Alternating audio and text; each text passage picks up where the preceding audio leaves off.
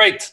So, um, Margaret, why don't we kick it off and, and, and define a little bit the topic of, uh, of today? Open transformation. It's all about customer first, data driven, and so on and so on. So, why don't you give us a couple of definitions so that we're all on the same page and make sure that we understand the same thing? Yeah, that would be great. And I, I, just have to say it was good I was on mute because I just snorted when someone wrote uh, the name for people from Brussels is Brussels sprouts, which I don't know if that's funny in any language but English, but I thought that's never going to leave me now for the rest of the day. So yeah, you know, when we talk about open transformation, uh, you know we everyone talks about digital transformation obviously and that's been around for a few years and some people love talking about it and some people are sick of talking about it. Uh, some people think it's a hype phrase. I, I probably hear every possible reaction to digital transformation. But the reality is we are all trying to change in some way.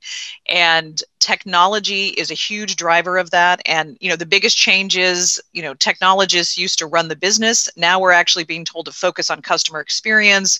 You know it needs to drive wonderful business impact. Uh, we need to innovate faster. And we still need to cut costs by the way and and do everything you know cheaper faster better. Security is still on all of our plates and and what we have to worry about. So so why do we shift this to open transformation. And the open piece is, is really important because we're going to touch on all the different aspects of that. But the reason we want to talk about open transformation is because the open looks at things a little differently. Uh, one is just from pure open source. What can we learn from open source communities? What do they do differently to help us understand how to drive faster innovation, which is obviously the newest innovation or the cutting edge of innovation happens in open source communities. But also, how do they work together? How do they operate? It is a meritocracy. The best ideas come from anywhere. There is little hierarchy. Um, you know, they're constantly pushing each other to be better. Everyone cares about security and the quality of the code.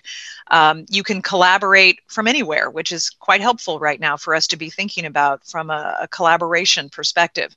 So, all of these things are really important because open does not mean insecure, it does not mean unstable. So I think what'll be really interesting is to talk about this balance of open source, open innovation, open ways of working, transparency, um, how we lead through that which is not top down by the way which most of our organizations uh, you know historically have been operating that as leaders we made mandates. Um, that's not working so well anymore and we can't innovate and collaborate the way we need to to move ahead especially during this time when everyone is distributed and remote. It just it, it doesn't work anymore. So i think as we think about that and and what we need to become leaders in this open transformation reality uh, we're going to talk about three different things uh, open architecture and technology open processes and open culture and as I think about this, I, I, organize these in a simple way, if this helps. I think about the open architecture or technology as the what.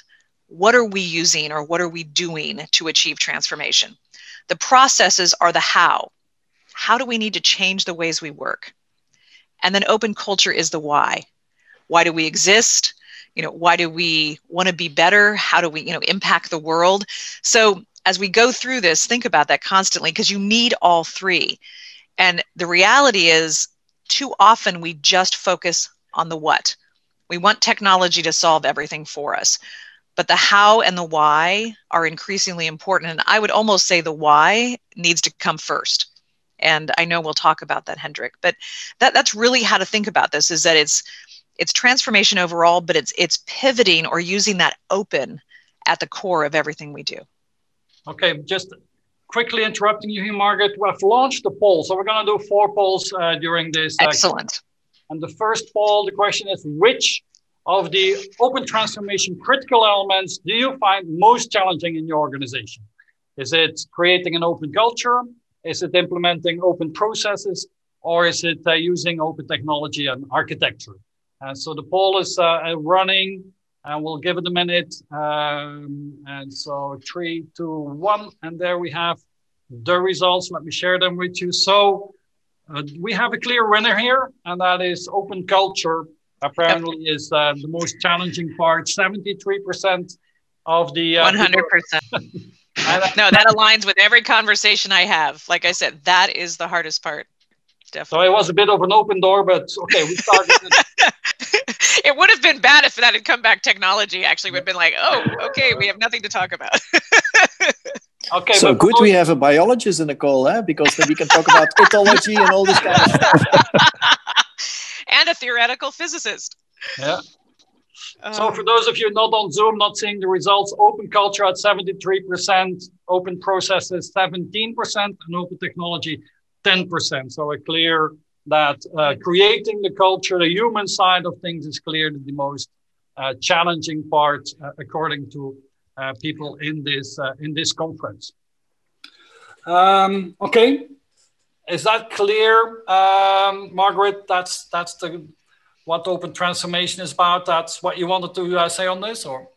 Yeah, I think so. I mean, the one thing that isn't showing up in that poll that I know we'll talk about is is leadership within that and to achieve this open transformation or any change as we know takes such courageous leadership um, and i think that we should definitely make sure we talk about that because if you're going to achieve open culture that by its very nature is going to drive necessity around a change in how we lead um, and so I, I think that we definitely want to talk about it. and i would love to hear from from these other panelists of what they're finding about their own leadership and it was in their interviews but i think it'd be great to touch on that because there was a lot of discussion about culture and leadership